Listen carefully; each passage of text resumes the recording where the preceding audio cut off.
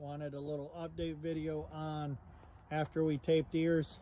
Um, like I said before, um, we've had them where they fold in like that and are vertically folded. Actually, two weeks ago now, um, as of today. So as the tape is off, no hair loss, no nothing like that. His ears are flat. His canals are like they're supposed to be.